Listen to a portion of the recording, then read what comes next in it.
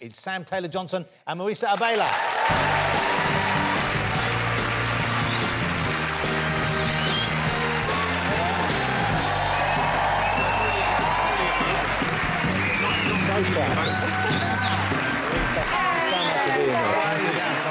You squeeze up the end here.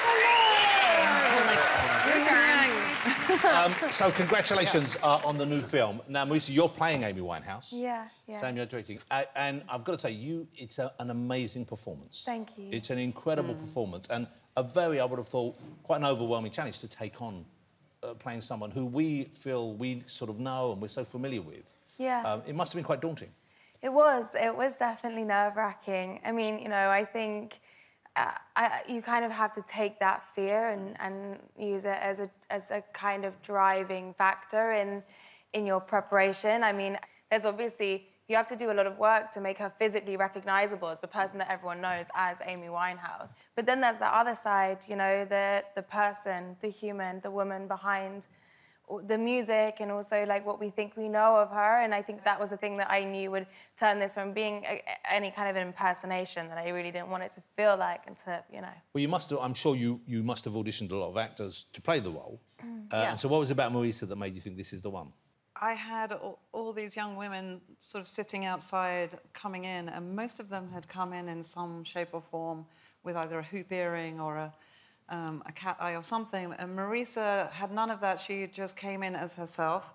And I was just sort of, you know, fiddling around with the camera, chatting with the casting director, Nina, and, and I just looked in the lens, and, and Marisa looked up, and she'd completely transformed. She hadn't even said anything, and I thought, that's her.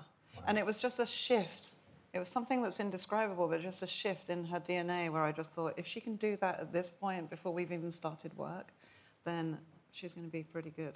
But what's good about film as well is it's also it's a funny film. Yeah. Yeah. And it's a light film at times. You know, it's not a downer. I mean, obviously, it's a very sad story, but it is actually kind of innovating as well. And the performance is amazing. I'm going to show you now. We're going to show you the trailer from it, uh, and and watch it and listen to it, and then I'm going to talk to Marisa a bit about this afterwards. This is Back to Black.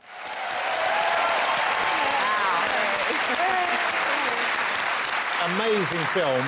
It's also out on the 12th of April, same day as Civil War. But what I want to speak to Marisa about there is that is Marisa singing. Whoa, that's, That's what's so crazy! Oh my God! yeah. I was gonna ask you. I was like, "There's no way that's Amy Winehouse's voice. That's insane." thank you so much Uh, but did you go in knowing that you could sing like Amy, or no not at all i actually don't even think anyone really asked me during the audition process if i could sing i mean you know the final round was in Abbey Road Studios, so by that point, you know, I think people were sort of trying to suss it out. But it wasn't a prerequisite when I booked the job. It was more kind of I knew that Sam and I felt the same way. Is that whoever was going to play this part needed to be Amy from the inside out, and that was the most important thing. So I just trained really hard. You know, I sort of trained for two hours a day for four months with my teacher Anne Marie Speed, and yeah. But, but you've done things for films. You've learned talents from. Didn't you learn to play piano for Power of the Dog? Yeah, I learned two songs, but they cut one of them out. Oh, I was like, I just learned the parts that I had to learn, but it was like over and over and over again every night because I don't play the piano, and it was just like my whole. I felt I was just apologize to my family, like here I go again, you know. And so yeah, it drove me nuts, and I stopped playing after the movie. But you know, one of the things which I think really makes the film and will make it ha- have a real life, which will endure and become a classic, is a cameo appearance.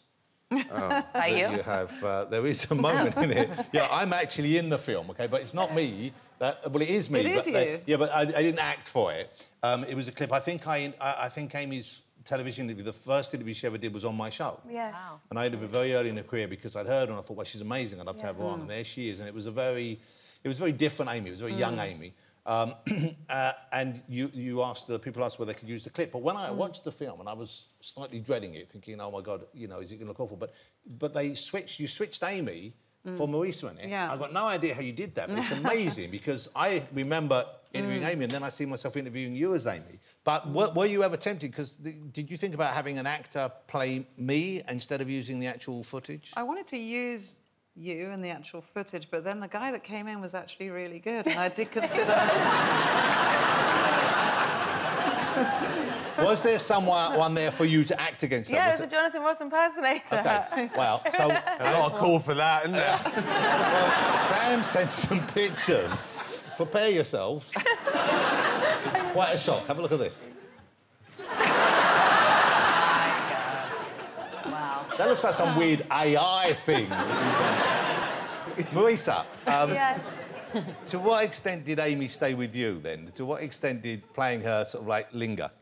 I like to sort of keep the lines quite clear. So I do a thing where I like to use, I mean, it's, I think everyone, a lot of people do it, but I like to use perfumes because it's a sensory thing that makes me feel like, you know, I, I know my smell and my detergent and my perfume. So when I, am playing someone else, I like to use a different smell. And yeah, I, I had an, an Amy perfume and, and then I'd get home and wash it off. I've done that before.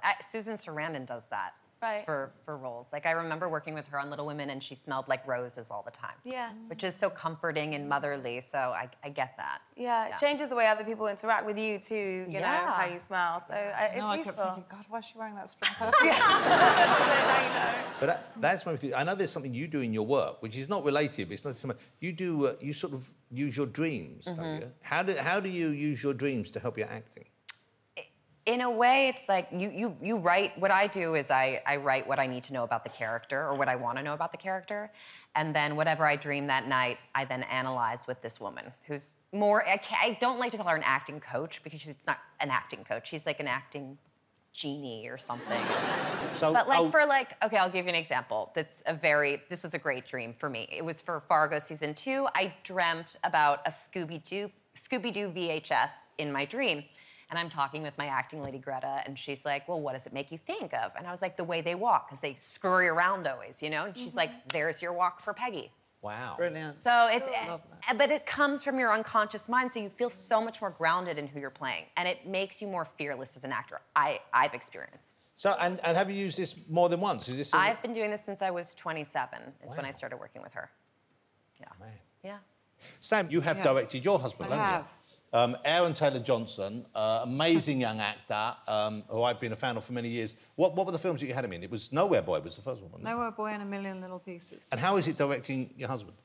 Um, it's really interesting. It's really, I mean, when I directed Nowhere Boy, he wasn't my husband. When I directed A Million Little Pieces, as you can see here, he was.